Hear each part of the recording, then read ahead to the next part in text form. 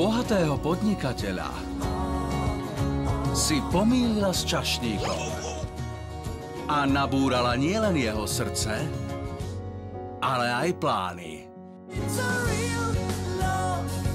Slovenská premiéra